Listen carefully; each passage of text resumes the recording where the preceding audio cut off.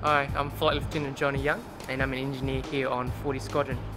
We operate two main aircraft types, as you can see the uh, C-130 Hercules and the Boeing 757.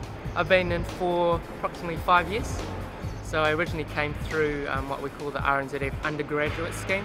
So I was studying at um, Canterbury University doing a mechanical engineering degree, but um, wasn't sure what I wanted to do. And the Air Force eventually paid for half of my degree, so um, that was pretty cool. And then um, come and board and have a job pretty much once I graduated.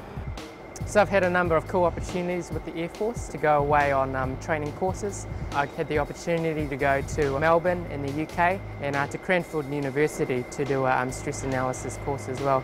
So the, um, the, possibilities and the training out there continues and the Air Force um, is in support of that.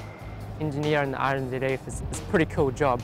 Due to the dynamic nature of the environment that we operate in, we could be doing engineering at home here in Auckland through to you know down in Antarctica through to the Middle East. It's the outputs that we do. So stuff like supporting the um, Canterbury earthquake through to the Rena to doing a drop for um, fishing ship down in Antarctica stranded.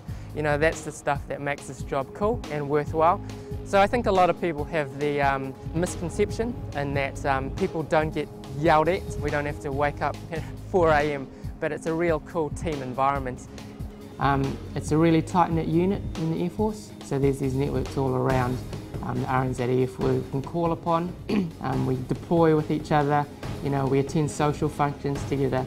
So it's not just, like I said, a nine to five job, it's a lifestyle choice.